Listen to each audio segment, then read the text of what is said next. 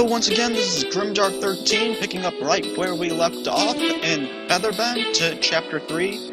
Last time we talked to, uh, we went through John's nest, Vriska's nest, and we are talking to Rose Lalonde right now, and she is purple, purple, purple. Yo, have you read my paper yet? Uh, In the the editorial. five-page handwritten editorial tacked to the town bulletin board regarding the poorly hidden undertones of latent bestiality in classical equine literature, Wow. in which case I definitely have not.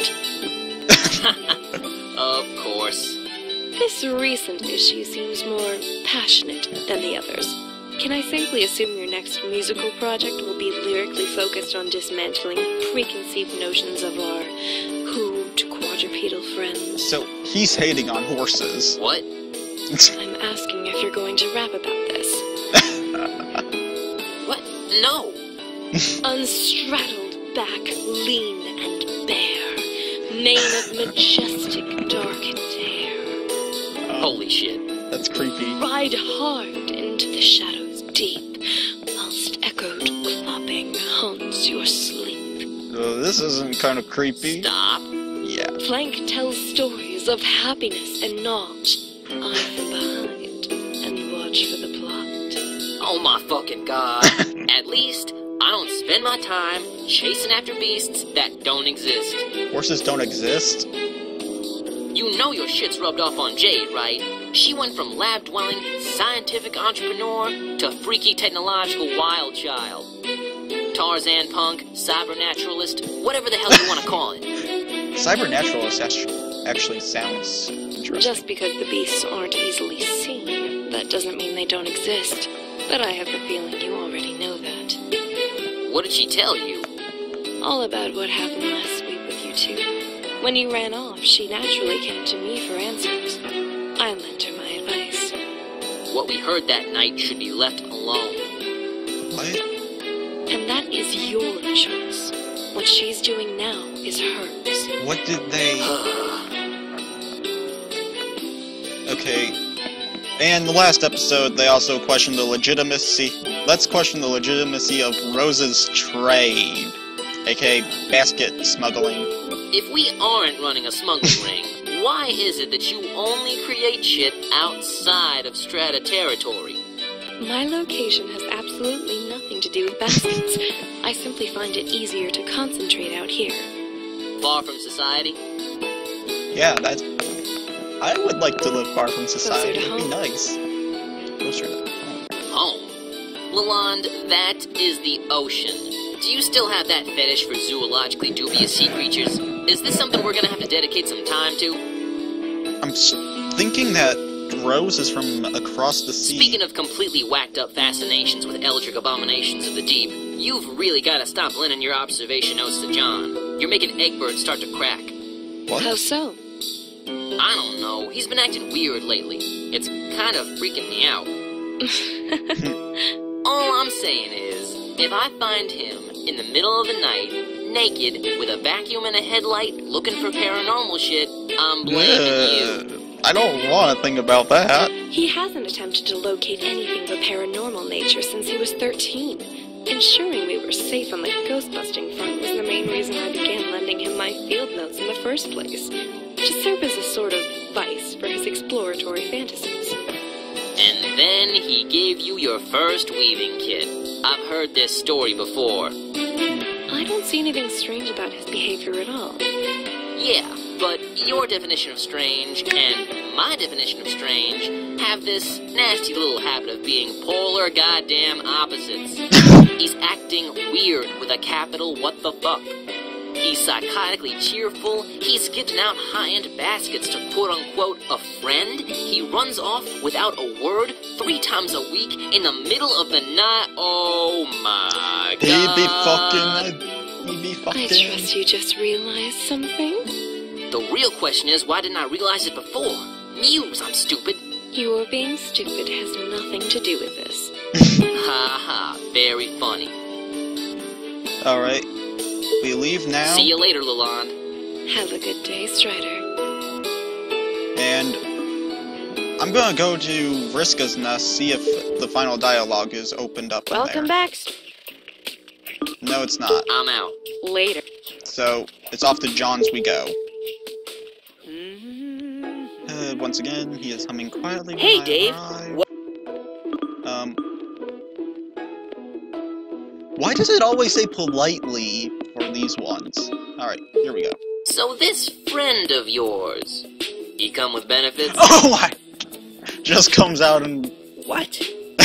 What I'm asking is, do you or do you not vulcanize meat rockets? Like, do you retrofit the pudding hatch? oh my. That's a new way to put it. What?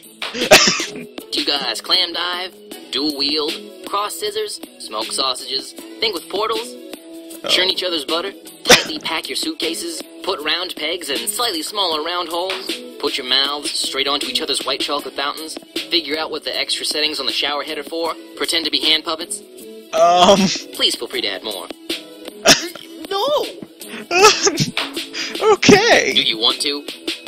I am not going to dignify that question with a response. Alright, it's cool if you don't feel like sharing. Personally, I don't care if you putt from the rough.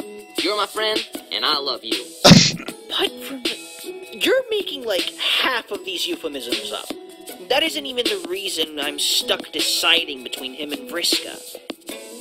Why don't you just, I don't know, bring him along Hmm, that to would not be a thing? good idea. Best case scenario, you introduce him to circuit and smooth things out. Worst case scenario, well, I'll be drunk for worst case scenario, so I don't really give a shit. That would that would be how I would be in this Unfortunately, there's a bunch of reasons why that wouldn't work. Man, here I was getting all excited over some pre-dinner entertainment. Look, I can't make up your mind for you. But between you and me, what I can do is tell you Circuit's the one who wanted me to come down here and ask if you're still down to party. She was? Mm-hmm. Man, you should have seen her.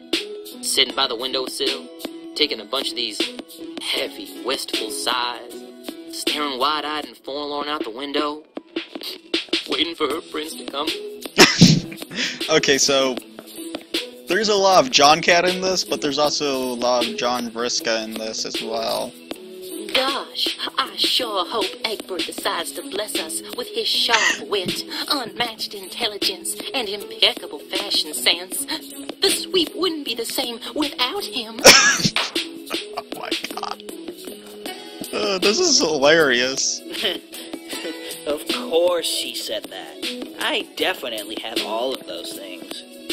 After the fight we had, I didn't think she'd want me around, but. You know what? I made Vriska a promise, and I'm going to keep it. Tell her I'll be there. Will do. Okay, and that is how Well, we finish this shit up. See. That's how we finish up John's Nest. Now let's go to Vriska's. Welcome back, Strider. Uh, here we go. You can stop getting your poofy pirate pants in a twist. John'll be here. Oop, here we go. Relief washes over Vriska's face. Good. She closes her eyes and rubs her hand over her temple, sighing softly. Good. I guess this is the part where I'm supposed to thank you for all your help, huh? I'm waiting. You're gonna be there a while. That's cool. Being able to party with Circuit and Egbert all sweep long is thanks enough. Why am I stuck with you instead of your regular host anyway? Polly and I decided against sticking together for the sweep this year. She dump you? Can you not? Last time she hosted, some shit went down, and we discovered something about the sweep we probably shouldn't know anything about. This year, she wanted to investigate it, while I'd rather spend the time pretending I know jack shit. This is about the migration, isn't it? Migration. Kinda. Polly wants to know what exactly is doing the migrating. Figure out what kind of creature it is and study it or something. They're nothing special, just your average run of the mill predators. Snakes, wolves, bears. Heck, I could have told you that. Sure, it's shitty people are sentenced to be killed down there, but I don't know what she hopes to gain by listening in on the slaughter. Don't ask me. I'm not the mad scientist loaded to the primaries with advanced listening gear. Only reason she got me listening in the first place was because she said no animal on record follows the migration patterns outlined by the sweep. So, Impossible. One of them has to. Dave shrugs with nonchalance. Vriska notices his uh, stopped and making eye contact. Strider? What? What is What's it that's down, there? Dave? I should probably get going. I'll see you on the sweep circuit. All right. Dave, what the fuck Just is don't it? forget to bring your wine. Wouldn't dream. What the fuck is it? Alright, we have one last thing to do at Rose's. Talk about the sweep. What do you know about the sweep? I know that it's a seasonal celebration held by members of the understory, the canopy, and the emergent. I know it's tradition to stay indoors for the entire day with your host, your feast, your wine, and your tokens. What is And I know the on- festival itself plays cover to the systematic elimination of all living beings condemned to the forest floor. You know this as well. Yeah, yeah, I, I do. That's only half of what's bothering me. What the fuck is down there? I need Anyone to know. Anyone who does know about the sweep thinks it's the fault of some predators migrating across the floor. The people are sentenced down there as fodder. Jade told me, and I quote, there is no living animal whose migratory patterns match that specific day of the season and that specific amount of time. Whatever it is hunting people on the floor, it sure as hell ain't wildlife. Are you saying then? they're monsters, Dave? Let's not spend time chasing after beasts that don't exist. I'm not letting Harley investigate this shit on her own. She's gonna get herself killed. She's much more competent than you give her credit for, Strider. Besides, neither of us know her exact position in the strata. It would be unwise to track her down so close to showtime. Something tells me trying to find her will put you in more danger than you are capable of saving her from. Rose's gaze strips. She absently strayed into a nearby basket. There's a sedative in the wine. What? What? In the wine our generous ruling government gives us every sweep. There's a sedative in it. I've come to the conclusion this makes the mandate of stay indoors much easier to police later in the day, What? which I can only assume is when the screams are the loudest. Damn. How can you be so calm talking about all this? It's something that's happened right under our noses every year for as long as we can remember. There's not much we can do about it, except collect the information we can without exposing our intentions and landing ourselves in the forest floor with the rest of the condemned. So our hands are completely tied. Until we know the proper nature of the beast, yes. This is also why I need your help delivering baskets. What? What the hell does What our does- smuggling ring have to do No. with anything? What? Rose picks up a nearby, newly finished basket. With a small pop, she removes the flat sheet of wood at the bottom of the basket, revealing a small letter written in glyphs uh, Dave could neither recognize nor attempt to decipher. This art is amazing. Why can't I do that? I've been maintaining correspondence with a handful of rather influential individuals. When were you planning on letting me in on all this? So it is a smuggling ring. As soon as it became relevant, as it just did. Rose wedges the sheet of wood back in place. Slowly but surely, we'll get to the bottom of this. Oh my god. This mystery is turning us into real basket cases. Oh my god, the puns. Indeed, we've stumbled upon a very intricate weave of lies. They're just gonna. The victory of unraveling them will belong to whoever is quicker. Now that I hate myself, I'm gonna head home.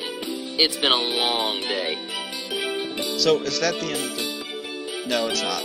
Dave ensures he's far enough out of Rose's line of sight before landing on a lone branch, pulling himself up against the bark with one hand and rubbing the bridge of his nose with the other. Sits in the crook where the branch and tree trunk align. His shades shift, and from beneath his lenses, he's given an untinted view of the jungle far below.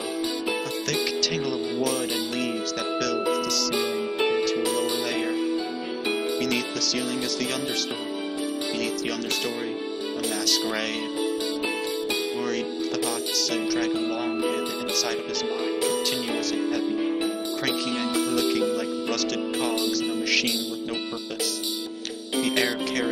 quiet ambience, but the silence it brings him no comfort. To be continued. Okay, that is the end of that is the end of Dave's story in this part. And it was actually amazing. I actually enjoyed this one. I can't wait to start up Karkat's in the next episode. And where are artwork? Okay. Anyways, people, this is just um, an amazing thing, and I hope to, uh, and I can't wait for the next chapter of it to come out. I know in, uh, I know we still have half of this uh, chapter to do, but I still can't wait for the next chapter. I mean, Featherbent is amazing. It's got amazing music, it's got great voice acting, it's got amazing art, it's just great. And anyway, alright, so until next time, go check out my uh, Pokemon Sweet Nuzlocke uh, between these videos. Uh, so it's updated every other day, just like this. And I will see you next time. Comment, like, and subscribe. And until next time.